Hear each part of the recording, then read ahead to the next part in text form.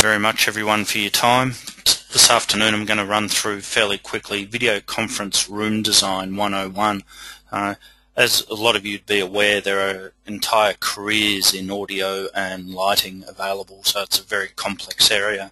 Um, by the end of today's session, I intend to go over a few basics. Um, at the very least, you'll be able to look at this picture on the first slide that we're viewing here and tell me exactly what what's wrong with that room design, where the flaws are and why you wouldn't do it that way. Anyway, let's kick into the material and have a look at the agenda. Room design, basic layout, um, lighting, audio, typical room layout and some considerations and things to talk about there and then finally room management. So let's hop into it.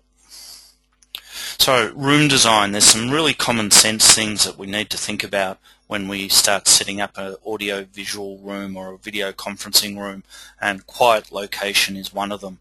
Um, external external office noise and loud voices and coffee next to tea rooms and these sort of things are, are really really unfortunate choices for a video conferencing room um, external noises have a way of coming through to the far end participants in a conference in a most distracting way. So let's avoid all of that and put some common sense into where we're going to locate it.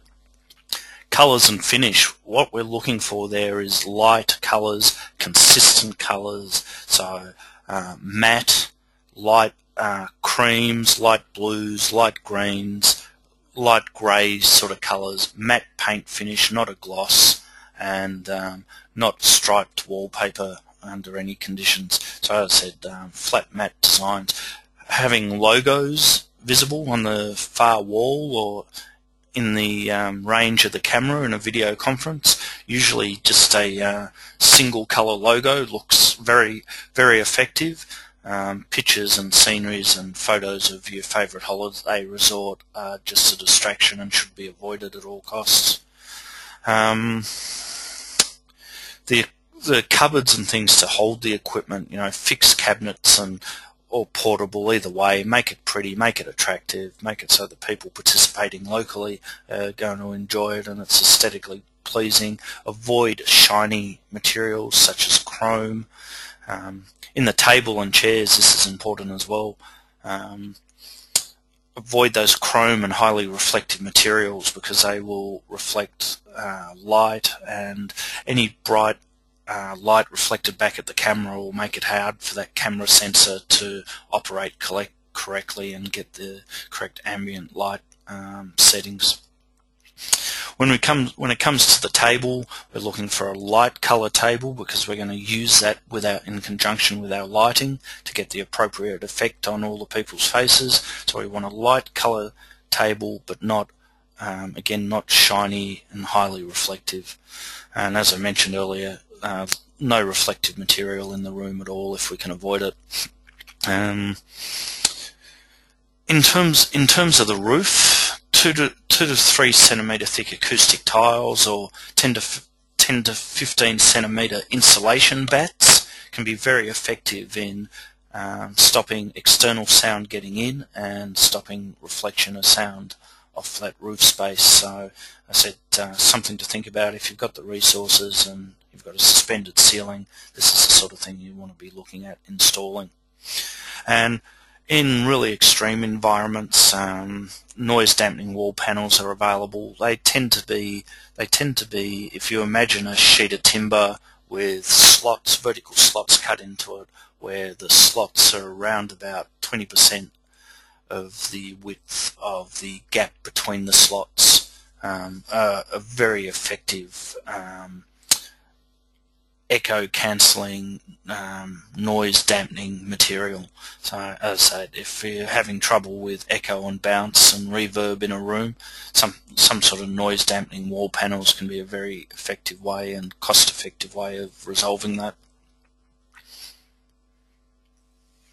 Further on the room designs, if we've got windows and we want curtains, and the curtains we're looking at full length and again a neutral colour.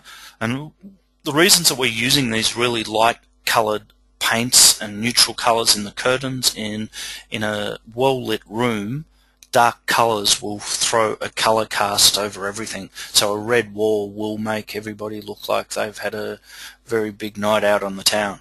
So as I said, neutral and pale colours in um, room furnishings. Um, glass is bad, um, acoustically and visually with reflections of light and reflections of sound. So no glass is better, but if you're going to have it, have full-length curtains over them. Um, no lights directed at the camera for exactly the same reason that we don't want reflective materials, right? Um, it's anything that's going to bounce uh, intense light source back at the camera sensor is going to make it hard for that camera to operate effectively. Um, additional furniture avoid it if you can, but you know in today's in today's real world office, a lot of these um, video conferencing rooms are going to be multi-purpose, and so we got, are going to have additional furniture in there. So stick to all the rules that we've discussed before, before not reflective, um, um, so not glass, etc., etc. Um, microphones, single one if applicable. Um, we'll talk a bit more about microphones later. Um, today's in with the cost of large screens today, we're looking at a minimum of a 50-inch screen. Um, that can be very effective, but screen size is a factor of room size, and we'll talk about that a bit later. And very importantly, particularly if you're the sort of organisation that partakes in long conferences, allow for the extra cooling. Um, conference room with large panels, with other associated equipment, and a number of people in there sitting, talking, participating in a conference will get very uncomfortable very quickly if you don't allow for some extra cooling capacity. So lighting. Lighting is one of the areas that is easiest to break and has some of the simplest rules to get it right. So we can get a lot of bang for buck from having a look at the lighting and the environment we're going into. So direct lighting is bad, very harsh casts, big dark shadows, um, particularly on faces from eyebrows and your eyebrows and your nose, etc., etc. So um, indirect or diffused LED or fluorescent lights are very effective. Um, and indirect can mean bouncing them off the roof. Um, don't mix lighting types. Light, different lighting types have different temperatures, as they say, and what it really means is different temperature lights cast different color hues as um, as a result of those color temperatures. So fluorescent lights tend to cast a slightly greenish blue hue, old tungsten lights that cast a yellow one. Mixing light types will create different color temperatures and will um, play up to no extent with the camera sensor again as it tries to adjust um, white balance uh, to take care of those different temperature types. So always stick to a single lighting type and um, use it effectively. So our our light sources, we want 45 degrees to our participants, 45 degrees to our whiteboard. This creates um, a very natural looking uh, shadow, light and shadow effect on faces and stops reflection off the whiteboards being pointed back at cameras and things. Um, Dimmers, dimmers are really appropriate because then you've got at your fingertips a mechanism to play with the um, harshness of the light because you can absolutely have too much light. Too much light will wash everything out and send it very two-dimensional. By removing all shadows from a uh, somebody's face, we actually turn it into a very flat appearing two-dimensional image. So we do want some shadows, we just don't want really harsh dark shadows. So as I said, we're looking at bouncing that light 45 degrees to the face.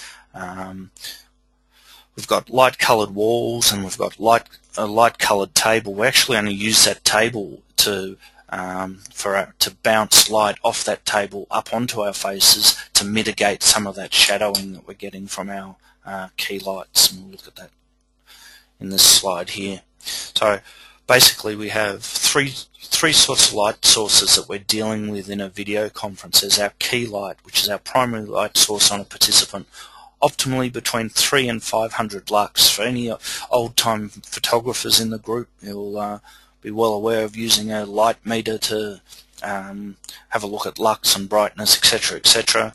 Um, realistically, seven 700 lux is the top of the top of the uh, scale that's as bright as we want it to be. That's really pushing the boundary. Between 3 and 500 creates a great effect. And again, 45 from 45 degree angle or ceiling bounce to the faces of our participants. Uh, fill light, so this as I said is to soften those key light shadows and we achieve that cheapest, most cost effective way is by that bounce off our light coloured table. So again, you know, our light coloured table needs to be a fairly neutral colour so that it's not throwing a colour cast up onto our participants' faces. And then background light. Um, it's one of the harder things to do but is really effective and rewarding when you get it right is the background field of view in any participant, any um, video conference. Think about it from the far end participants, how they're going to see that. Um, if you can, that background view, if you can ensure the back and side walls are smoothly and evenly lit, really good payback for that, a very effective look in conjunction with getting that, those other lighting aspects right. On the audio, on the audio uh, side of things, microphones are like antennas in that they have a shaped signal or a shaped range of effectiveness. So we can have directional microphones that go out to different ranges or omnidirectional microphones, you know, some sensitive to out to a meter radius, some sensitive out to um, up to over three meters uh, radius and still very, very effective. So um, depending on the size of the room, a 3 metre radius gives you a 6 metre long room, um, so a small room, a single microphone may well be effective. If you're going to multiple microphones, then we're looking at making sure we've got some sort of mixer capability because we don't want to leave that to chance that um, signal strengths and things are going to be correct just based on placement. So as soon as we go to mo multiple microphones, start looking at using a mixer capability so you can modify the signal strength coming from those devices applicable to uh, your room layout.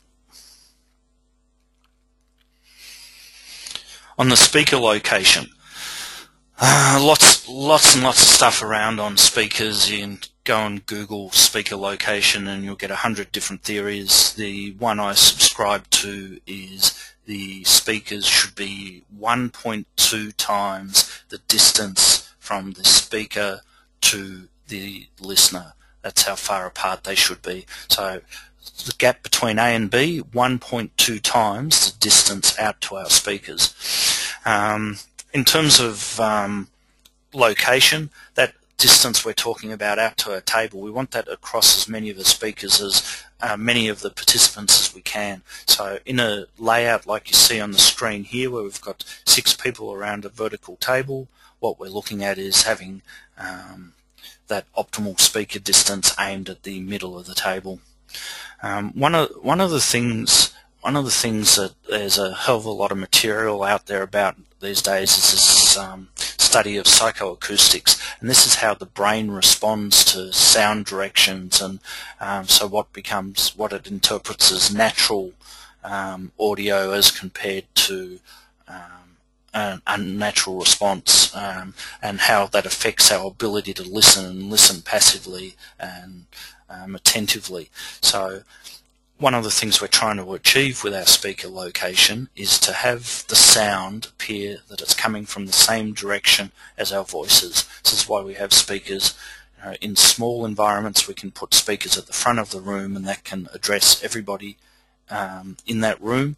In larger environments we need to go to ceiling speakers and we'll talk a bit more about that um, in the uh, next couple of slides. So how many speakers and how much power? So what we're aiming at with our audio is to get about 10 dB above the ambient noise in that room. So conversation is around 60 dB.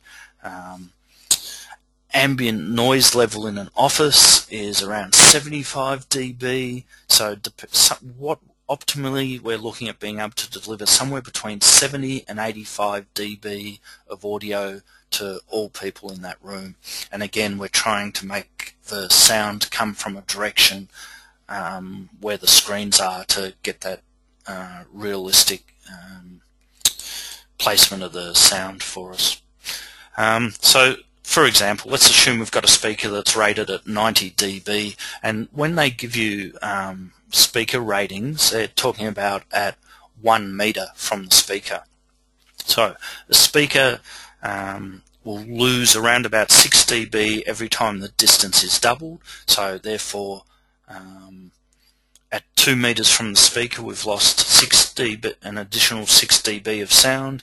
At 4 meters, we've lost 12 dB, etc., etc. So if the average sitting height for a person is about 1 meter, ceiling height of 3 meters, then um, we can see that a 90 dB, 94 dB speaker is going to provide plenty of sound effectively up to 88 dB of audio down at uh, head height in, in this room.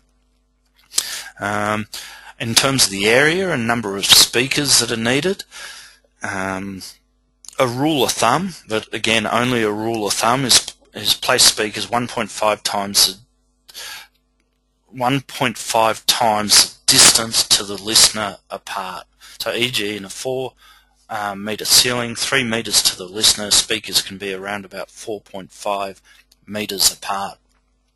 If um, you want to, as I said, that's a rule of thumb. To calculate this uh, accurately, you need to look at your speaker specs, understand what the uh, cone angle is for your speakers, and they're usually about 100 degrees.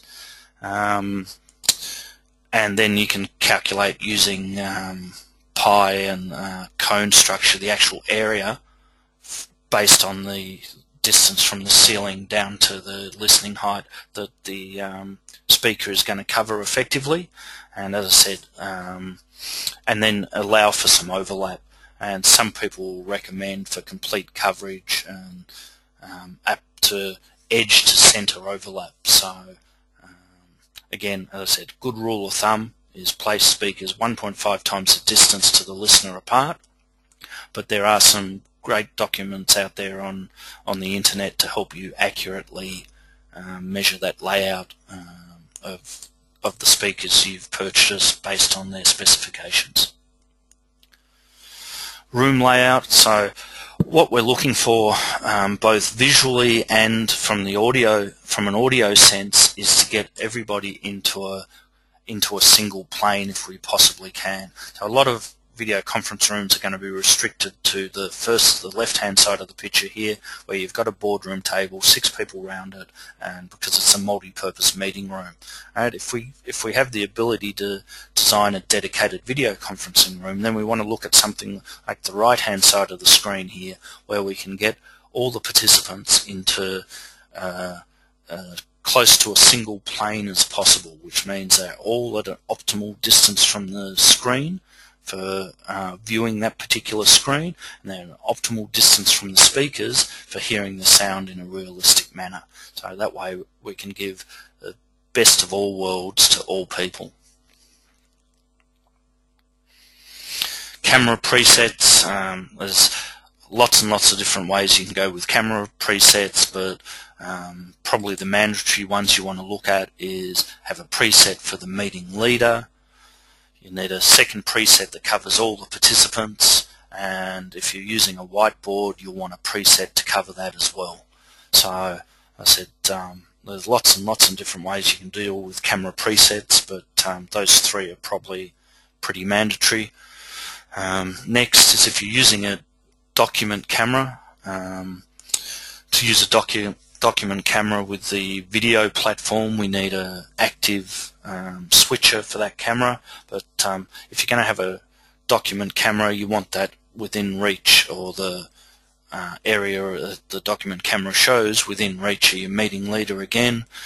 Um, remotes again you want them where the meeting controller is. It may be the meeting leader or it may be an operator. Data share again same thing. You want all this gear at a spot um, where the meeting leader or the operator has easy access and control of that to share it amongst all participants. In terms of TV height, eye level should be approximately a third of the way up from the bottom of the screen. So when you're wondering about just where on the wall to stick that 50 50 inch plus uh, LED screen. Eye level, which eye level as I say is around about a metre off the floor, needs to be about a third of the way up that screen. But uh, yeah, check check the furniture. Um, distance from the screen. So um, distance from the screen here in the second two columns is shown in meters. The resolution of the screen has an effect on the distance you want to be from it. So a lower resolution screen, 720p, has bigger pixels. So to, to get the optimum viewing distance, you need to be further away from it. A 1080p um, resolution screen has smaller pixels. We can get up close without any pixel pixelation effect. So a 65 inch screen only requires us to be about 2.5 meters away on a 10 point and a 1080p video conference. Um, so there you go, handy chart. Keep it at your fingertips. Finally, room management. Um, get a get a user guide or a poster in there for people coming in to use it who may not be that familiar with it, may not use it that often, or may not have ever used it before at all. It takes them through all the steps to turn this on and how to control it. Have contact details there for an operator or someone who can provide assistance. Have a list of call wrap-up tasks that needs to be complete.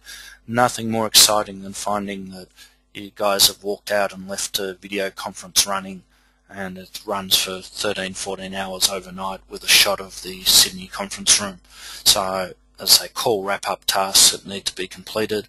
Additional services, if there's additional services available for the room, as in being able to order coffees, food, whatever, you know, put the information there, have it at their fingertips so when people walk in they can do it.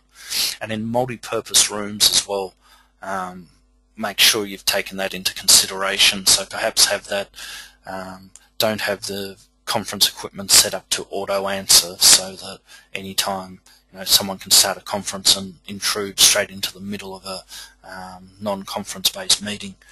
Um, keep the remotes, keep all the controls, keep you know whiteboard marks, put it all in one spot, make sure it's safe and make sure you mention that it goes back there when it's done. And in large panorama systems such as we sell where we have up to nine screens in a single uh, conference room. You know, there's a separate control panel for that, um, separate to TV remotes and things. So make sure all that's, you know, as I say, goes in one spot, has a home, and it goes into it all the time. And last but not least, put a vacant sign on the door. There's nothing more distracting for anybody than to have somebody stroll into the middle of a video conference when they're not meant to be there.